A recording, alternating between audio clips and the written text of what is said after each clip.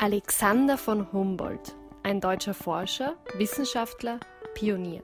Seine Leidenschaft, die Welt zu vermessen. Geboren vor exakt 250 Jahren. Und wir. Eine Schulklasse des Colegio Fernández Madrid im Zentrum von Quito, die Deutsch als Fremdsprache lernen. Am Ort, wo Humboldt zu seinen ersten Erforschungen in Südamerika kam, Ecuador. La mitad del mundo, die Mitte der Welt. Und ich, Magdalena Haftner, Theatermacherin und Pädagogin, mit dem Ziel, das Leben von Humboldt über das Medium des Theaters zu reflektieren und mit dem eigenen Leben der Jugendlichen zu verbinden. Und so startet das theaterpädagogische Projekt im Auftrag vom Pasch- und Goethe-Institut. Wir sind Humboldt, Abenteurerinnen von heute, in Kooperation mit der Compagnia Wunderbar. Der erste Teil des Prozesses versetzte die Schüler und Schülerinnen in die Rolle des Publikums. Dafür bekamen sie Besuch. Die zwei Vermessungsexperten und Expertinnen der internationalen Humboldt-Gemeinschaft, Frau Hum und Herr Bold, kamen zu Gast in ihre Klassenzimmer.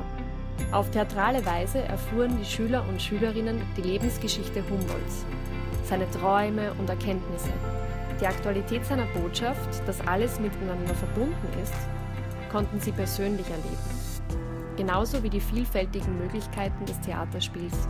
Im zweiten Teil des Prozesses wurden die Schüler und Schülerinnen selbst zu Theatermachenden. Über mehrere Monate erarbeiteten wir in ihrer Klasse ein eigenes Theaterstück.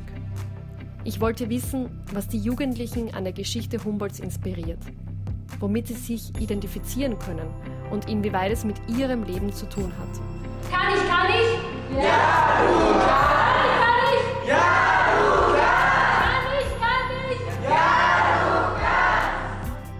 Kamen sie sehr schnell zu der Erkenntnis, dass Humboldt trotz aller Herausforderungen seine Träume verfolgte. Sein Durchhaltevermögen motivierte sie, ihre eigenen Träume zu verwirklichen und keine Angst vor dem Unbekannten zu haben. Wichtig war, einen persönlichen Bezug zu Humboldts Leben zu finden und mit ihrem Dasein in Verbindung zu bringen. Wie sah also sein Alltag aus? Was waren seine Herausforderungen? Und wovon hat er geträumt? Und als nächster Schritt wie ist der Alltag der Jugendlichen? Wie sind ihre Routinen und Gewohnheiten und von welchem Abenteuer träumen sie? Darüber sollte also ein eigenes Stück über sie selbst als Hauptdarsteller und Hauptdarstellerinnen kreiert werden.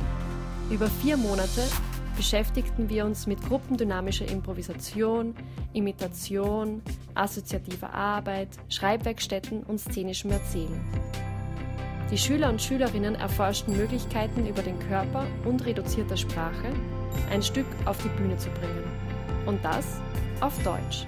He perdido el miedo hacia tipo hablar, a actuar en público, hablar no tanto, pero actuar así sí, porque en sí era como que no podía actuar en público, como que me daba nervios, pero ahora sí es más libre, sí.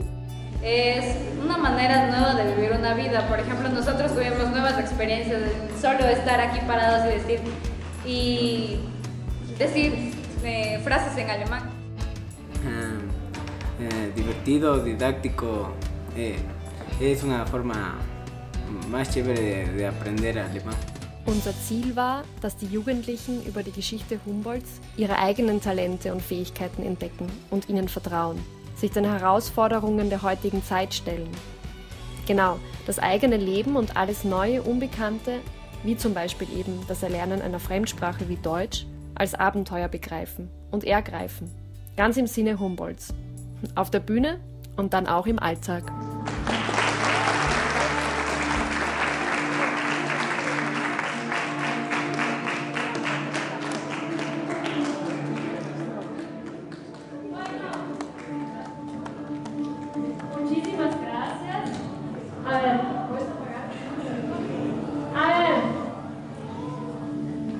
Yo estoy muy agradecida por haber tenido esa experiencia con ese grupo maravilloso.